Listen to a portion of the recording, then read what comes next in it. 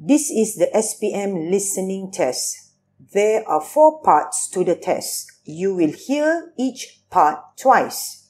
For each part of the test, there will be time for you to look through the questions and time for you to check your answers. Write your answers on the question paper. You will have six minutes at the end of the test to copy your answers onto the answer sheet. The recording will now be stopped. Please ask any questions now because you must not speak during the test. Now, open your question paper and look at part 1. You will hear people talking in seven different situations. For questions 1 to 7, Choose the correct answer A, B or C. You will hear each recording twice. You now have 30 seconds to look at part 1.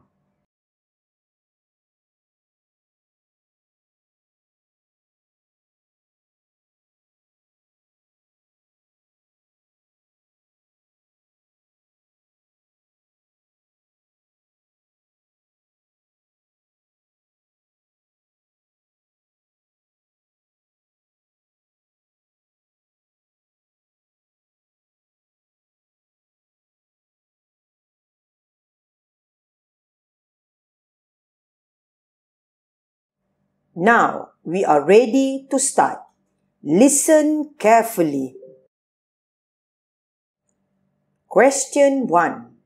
You will hear a woman talking about solo traveling. I never thought I'd be more comfortable traveling solo. Often, when you are surrounded by others, it can be hard to chill out as much as you'd like. Traveling solo allows me to enjoy reading, writing, listening to podcasts, and appreciate myself a little more. The world is in your hands as you are free to choose a destination, make changes midway, adjust at places, or simply loiter around. Now, listen again. I never thought I'd be more comfortable traveling solo. Often, when you are surrounded by others, it can be hard to chill out as much as you'd like. Traveling solo allows me to enjoy reading, writing, listening to podcasts, and appreciate myself a little more. The world is in your hands as you are free to choose a destination, make changes midway, adjust at places, or simply loiter around. Question 2. You will hear a bank officer talking about opening a bank account. If you are planning to open your first savings account, here are a few things you must consider. First, always find out the account charge fee. Next, there are some banks that do not require a minimum amount for teenagers. The most important thing to consider is internet banking facilities. If you prefer to do most of your banking transactions online, it is advisable to check if the bank provides 24 hours online services. Now, listen again. If you are planning to open your first savings account, here are a few things you must consider. First, always find out the account charge fee. Next, there are some banks that do not require a minimum amount for teenagers. The most important thing to consider is internet banking facilities. If you prefer to do most of your banking transactions online, it is advisable to check if the bank provides 24 hours online services. Question 3. You will hear an announcement on a delayed train. Attention passengers. We are sorry that the 954 ETS Platinum Gold service to Butterworth is delayed for 30 minutes. This is due to flood water that caused the railway to be unsafe, thus limiting the speed. We are sorry that your journey will take longer than planned. Now, listen again. Attention passengers. We are sorry that the 954 ETS Platinum Gold service to Butterworth is delayed for 30 minutes. This is due to flood water that caused the railway to be unsafe, thus limiting the speed. We are sorry that your journey will take longer than planned. Question 4. You will hear a doctor advising a patient on starting a healthy diet. Doctor, it's difficult for me to stop eating fast food and dessert. Well, I suggest you make small changes to your diet. Not drastically change. Start with stocking up your pantry or refrigerator with healthy food. It is important to have a meal plan, so you should go grocery shopping. Only buy food you plan to use in your meals for the week. Now, listen again. Doctor, it's difficult for me to stop eating fast food and dessert. Well, I suggest you make small changes to your diet. Not drastically change. Start with stocking up your pantry or refrigerator with healthy food. It is important to have a meal plan, so you should go grocery shopping. Only buy food you plan to use in your meals for the week. Question 5. You will hear an interview with successful triplets. Today we have three successful triplets, Kamal, Kamil and Camelia, who would like to share about their secrets for being successful in their studies. Yeah, I always make study a priority. Successful students know how to succeed because they have made their study their top priority. Well, to me, being punctual is important. Whether you have to take a test or have a study date with a friend, it's important to be on time if you want to be a successful student. Working honestly is another way. This means you should do your own work, avoid copying, and avoid cheating at all costs. Now, listen again. Today we have three successful triplets, Kamal, Kamil and Camelia, who would like to share about their secrets for being successful in their studies. Yeah, I always make study a priority. Successful students know how to succeed because they have made their study their top priority. Well, to me, being punctual is important. Whether you have to take a test or have a study date with a friend, it's important to be on time if you want to be a successful student. Working honestly is another way. This means you should do your own work, avoid copying, and avoid cheating at all costs. Question 6. You will hear a radio announcer talking about how to reduce rubbish. The best solution to reduce the garbage is to buy products that don't have much packaging. When choosing a product, keep in mind how much garbage it will make. For instance, diapers and paper towels have to be thrown away after they are used. Cloth can be washed and used many times, so it's often a better choice. It's important to remember that there are ways to reduce the amount of garbage we make. Now, listen again. The best solution to reduce the garbage is to buy products that don't have much packaging. When choosing a product, keep in mind how much garbage it will make. For instance, diapers and paper towels have to be thrown away after they are used. Cloth can be washed and used many times, so it's often a better choice. It's important to remember that there are ways to reduce the amount of garbage we make. Question 7. You will hear an advertisement introducing a new product.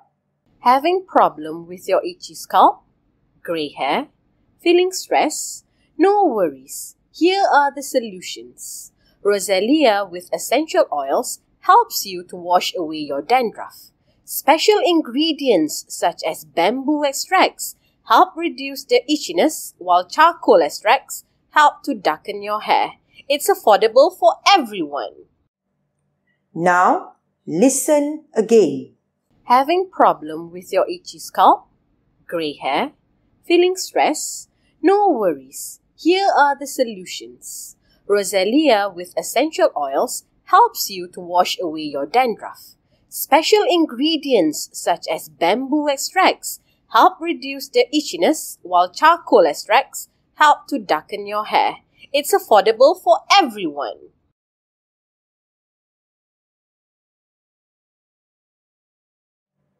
That is the end of part 1. Now, turn to part 2. You will hear a conversation about Malaysian food. Choose the correct answer A, B or C. You now have one minute to look at part 2.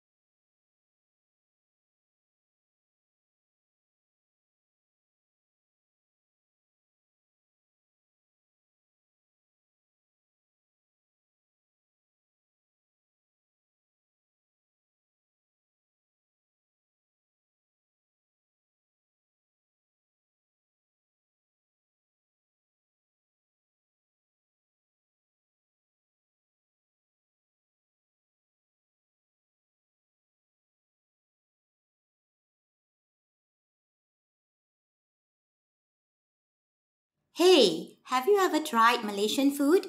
I heard it's absolutely delicious. No, I haven't had a chance yet. What makes Malaysian food so special? Well, Malaysian cuisine is a blend of flavors from different ethnic groups such as Malay, Chinese, and Indian. It results in a unique combination of spices, herbs, and ingredients that create amazing taste profiles. That sounds intriguing. Can you give me some examples of popular Malaysian dishes? Of course, one famous dish is nasi lemak, which is the national dish of Malaysia. It's an aromatic rice dish cooked in coconut milk and served with sambal, spicy chili paste, fried anchovies, peanuts, cucumber, and a boiled egg. It's absolutely delicious. That sounds incredible.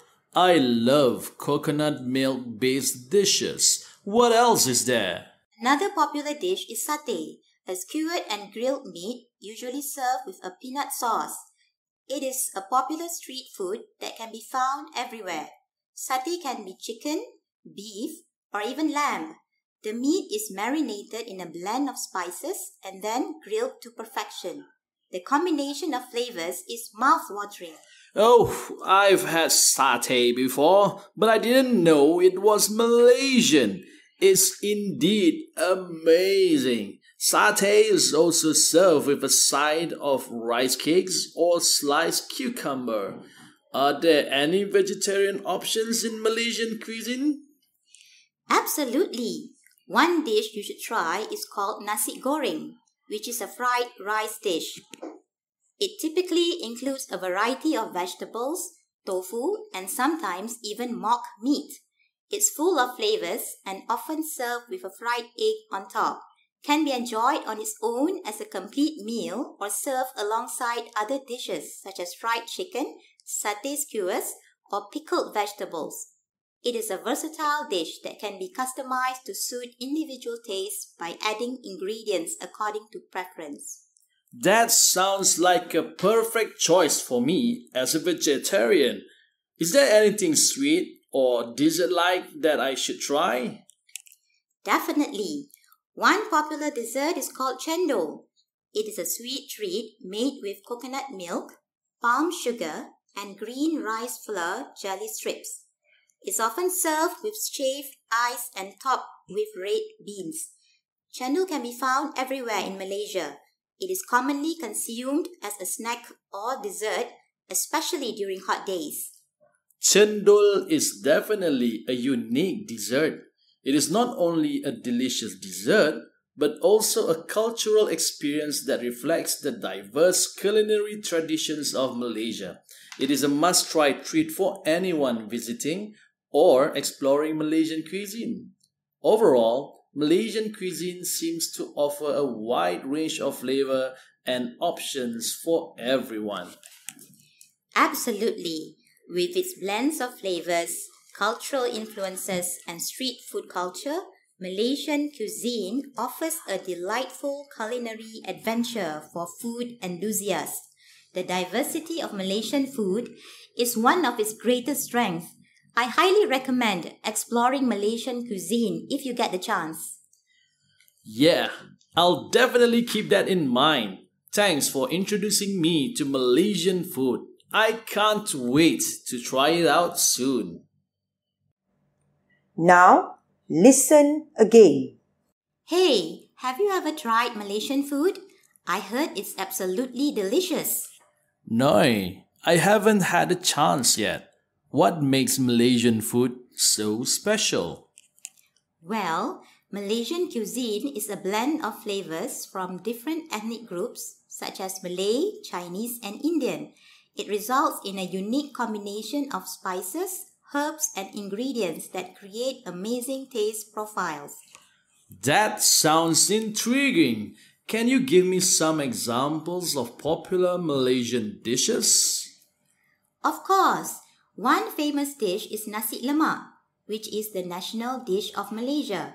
It's an aromatic rice dish cooked in coconut milk and served with sambal, spicy chili paste, fried anchovies, peanuts, cucumber, and a boiled egg. It's absolutely delicious. That sounds incredible. I love coconut milk based dishes. What else is there? Another popular dish is satay, a skewered and grilled meat usually served with a peanut sauce. It is a popular street food that can be found everywhere. Satay can be chicken, beef, or even lamb. The meat is marinated in a blend of spices and then grilled to perfection. The combination of flavors is mouth-watering. Oh, I've had satay before, but I didn't know it was Malaysian.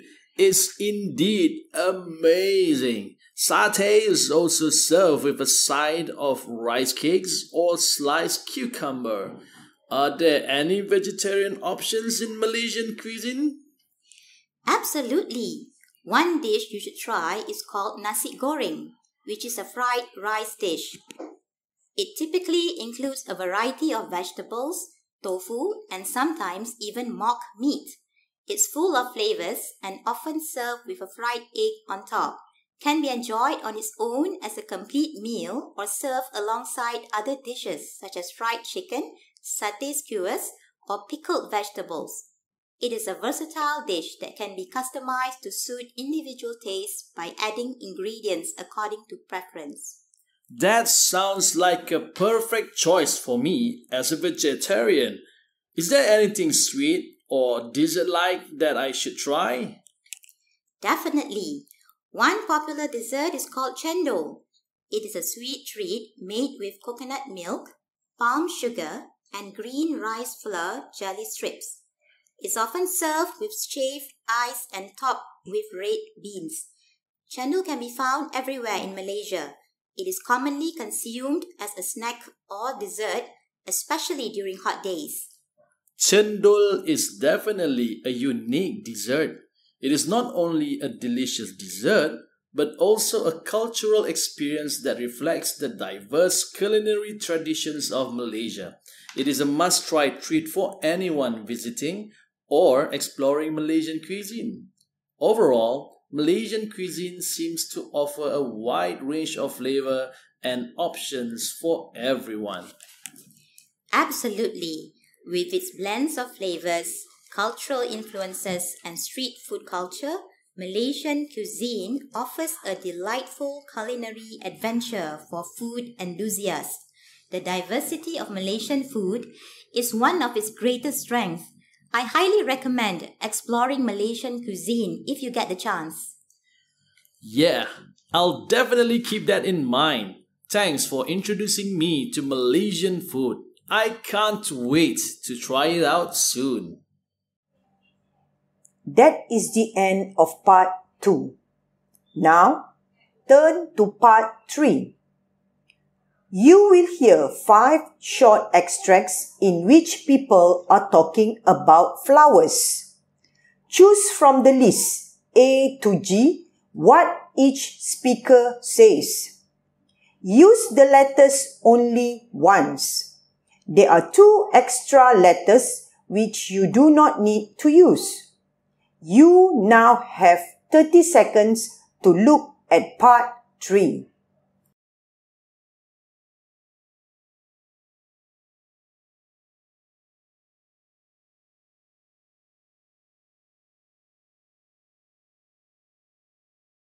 Speaker 1 Wedding fashions tend to come and go, but there are always the favorite flowers which remain forever popular with brides to be.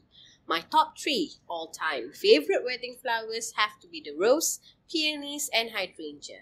The rose is often top of a bride's list and is not surprising as it has everything a bride could possibly wish for in a bouquet beauty, a delicate fragrance, and timeless elegance. Speaker 2 One day in the flower shop, I was discussing the strange magic of scent with a customer. Everything smells different to everyone. Stargazer lilies smell of floral perfection to some, but to me, they smell like hot dogs. I love tulips because they just smell green and fresh with a hint of honey. When another customer interrupted with, Tulip smells like soap. Only to you, dear lady. To me, they are divine. Speaker 3 Know your flowers, gentlemen. They are a perfect gift as they hold specific meanings. On my second date with my wife, I bought pink carnations that symbolize affection and admiration. I proposed with the classic red roses. Then, every time we had a fight, I bought her white tulips when it is time to say sorry. Although expensive, the smiles after receiving those flowers are worth every penny. Speaker 4 When I was seven, I was almost poisoned by beautiful nightshade blooms. My mom rushed me to the bathroom to wash my hands and repeatedly asked whether I put my hands in my mouth. It was so frightening. Once I had children, I armed myself with this knowledge and quickly learned that my garden was full of poisonous plants. Lots of garden favorites pose a true threat to humans, pets, and livestock. Speaker 5 The most recent trend in floral design is using dried flowers and grasses. They don't die, it's both cost efficient and convenient. The best part is there are so many varieties. Unlike a lot of floral arrangements, single stems of dried plants are sculptural and centerpiece worthy on their own. Just one branch of eucalyptus is hauntingly beautiful on its own, and it can stay that way for years. Now, listen again. Speaker 1 Wedding fashions tend to come and go, but there are always the favorite flowers which remain forever popular with brides to be. My top three all time favorite wedding flowers have to be the rose, peonies, and hydrangea. The rose is often top of a bride's list and it's not surprising as it has everything a bride could possibly wish for in a bouquet beauty, a delicate fragrance, and timeless elegance. Speaker 2 One day in the flower shop, I was discussing the strange magic of scent with a customer. Everything smells different to everyone. Stargazer lilies smell of floral perfection to some, but to me, they smell like hot dogs. I love tulips because they just smell green and fresh with a hint of honey. when another customer interrupted with, Tulip smells like soap. Only to you, dear lady. To me, they are divine. Speaker 3 Know your flowers, gentlemen. They are a perfect gift as they hold specific meanings. On my second date with my wife, I bought pink carnations that symbolize affection and admiration. I proposed with the classic red roses. Then, every time we had a fight, I bought her white tulips when it is time to say sorry. Although expensive, the smiles after receiving those flowers are worth every penny. Speaker 4 When I was seven, I was almost poisoned by beautiful nightshade blooms. My mom rushed me to the bathroom to wash my hands and repeatedly asked whether I put my hands in my mouth. It was so frightening. Once I had children, I armed myself with this knowledge and quickly learned that my garden was full of poisonous plants. Lots of garden favorites pose a true threat to humans, pets, and livestock. Speaker 5 The most recent trend in floral design is using dried flowers and grasses. They don't die, it's both cost efficient and convenient. The best part is there are so many varieties. Unlike a lot of floral arrangements, single stems of dried plants are sculptural and centerpiece worthy on their own. Just one branch of eucalyptus is hauntingly beautiful on its own, and it can stay that way for years. That is the end of part 3. Now, turn to part 4. You will hear an interview about bearded dragons. For questions 21 to 30, fill in the missing information in each numbered space. Use no more than one word for each space. You now have one minute to look at part 4.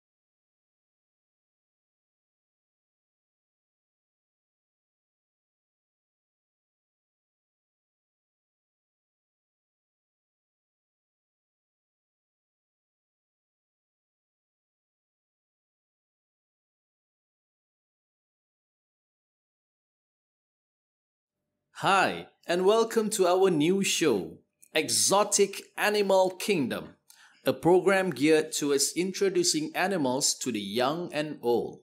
In today's show, our young but experienced guest will introduce us to the fantastic world of bearded dragons. Welcome, Jeremy. Now, Jeremy, I must admit that a bearded dragon sounds something like out of a fantasy book. What exactly is a bearded dragon. Here, why don't you hold on to Bert while I talk about him? Bearded dragons actually originated from the deserts of Australia, and this is one of several species that survive in that climate. Today, beardies like this one are bred in captivity here in the US. Okay, so what are some of the essential things to know when getting a bearded dragon? I mean, can you raise them as a family pet? Bearded dragons make great family pets and are very calm creatures. Yeah, this one seems quite friendly. You just need to know how to care for them. Well, what are some of the things you should keep in mind? First, you need to have the right supplies, some kind of enclosure. Like a cage or something? Yeah, a full spectrum fluorescent light bulb and a basking lamp, branches and rocks to climb and bask on, a food or water dish, and something to line the bottom of the cage. Okay, well, let's get down to some of the basics. What are the dietary needs of a bearded dragon? They sound like a very carnivorous beast. Perhaps uh, they eat fiery Mexican tacos or something like that? No, bearded dragons are omnivores. Omnivores? What exactly are those? Um, creatures that eat insects, vegetables, and greens, the leafy parts of plants and their stems. Okay, you mean like, for example, carrots or something like that? Young dragons like Bert can be fed small crickets twice a day, along with some greens and shredded vegetables. Then, as your dragon grows, you can increase the amount of greens and vegetables. You can also dust vegetables and insects with a calcium supplement to promote bone growth. Mm, what about water? What kind of needs do they have for that?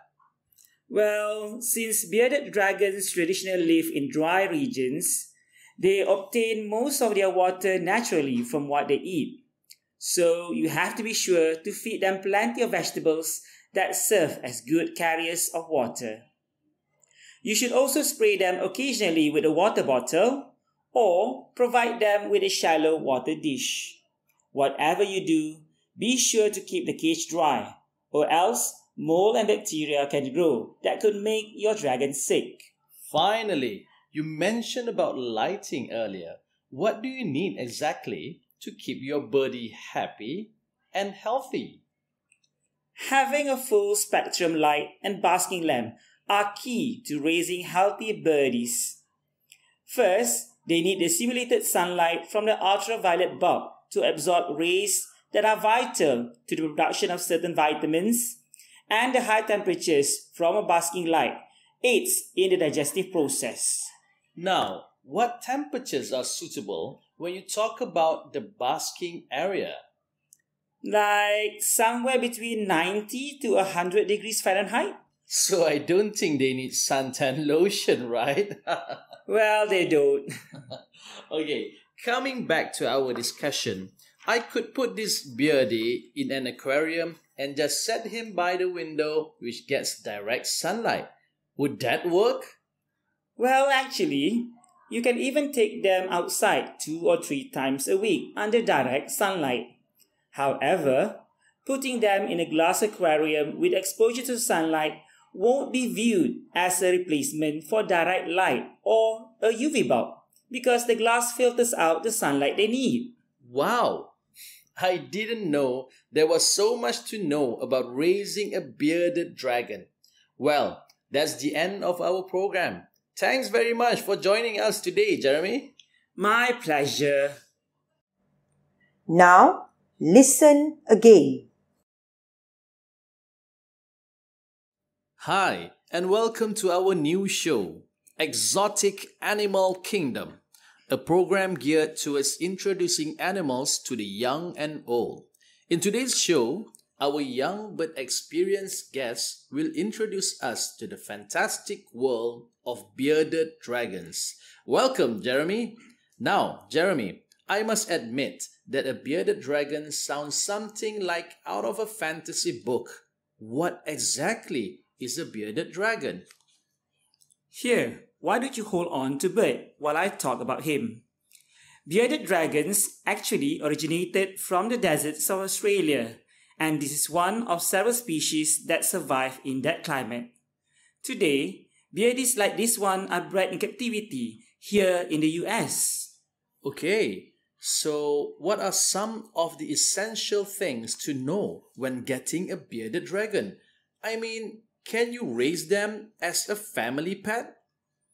Bearded dragons make great family pets and are very calm creatures. Yeah, this one seems quite friendly. You just need to know how to care for them.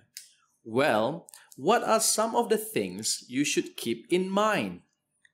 First, you need to have the right supplies, some kind of enclosure. Like a cage or something?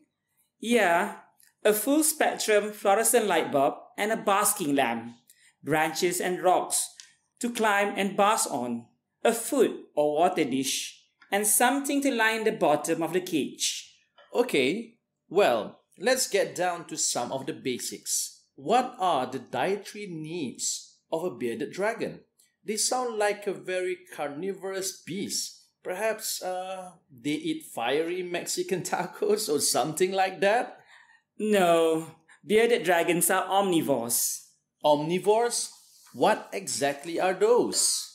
Um, creatures that eat insects, vegetables, and greens, the leafy parts of plants and their stems. Okay, you mean like, for example, carrots or something like that?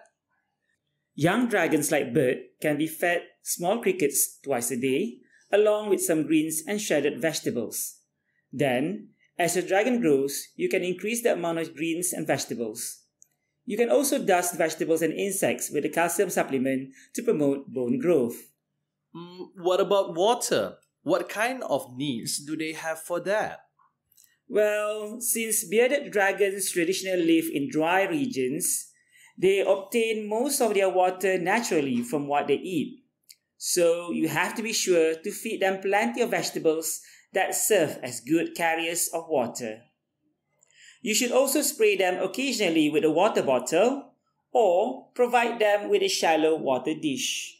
Whatever you do, be sure to keep the cage dry, or else mold and bacteria can grow that could make your dragon sick. Finally, you mentioned about lighting earlier. What do you need exactly to keep your birdie happy and healthy? Having a full spectrum light and basking lamp are key to raising healthy birdies. First, they need the simulated sunlight from the ultraviolet bulb to absorb rays that are vital to the production of certain vitamins, and the high temperatures from a basking light aids in the digestive process. Now, what temperatures are suitable when you talk about the basking area? Like somewhere between 90 to 100 degrees Fahrenheit. So I don't think they need suntan lotion, right? well, they don't. okay, coming back to our discussion, I could put this beardy in an aquarium and just set him by the window which gets direct sunlight. Would that work? Well, actually, you can even take them outside two or three times a week under direct sunlight. However, putting them in a glass aquarium with exposure to sunlight won't be viewed as a replacement for direct light or a UV bulb because the glass filters out the sunlight they need. Wow! I didn't know there was so much to know about raising a bearded dragon. Well, that's the end of our program. Thanks very much for joining us today, Jeremy. My pleasure. That is the end of part 4. You now have 6 minutes to check and copy your answers onto the answer sheet.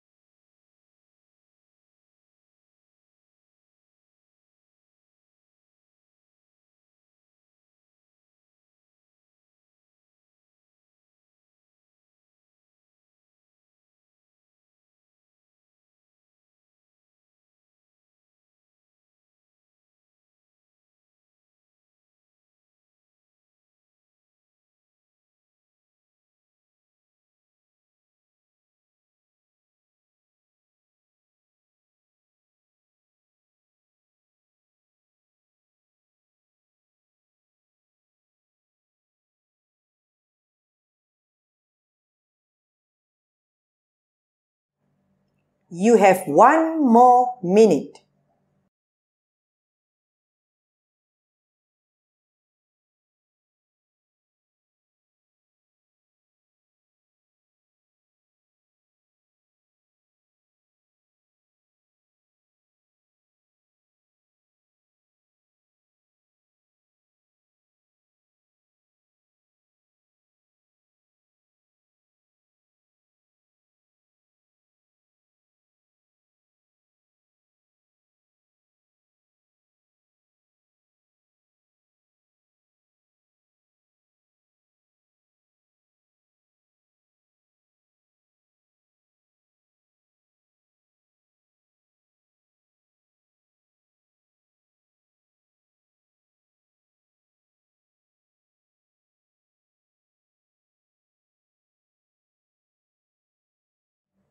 That is the end of the test. Please stop now.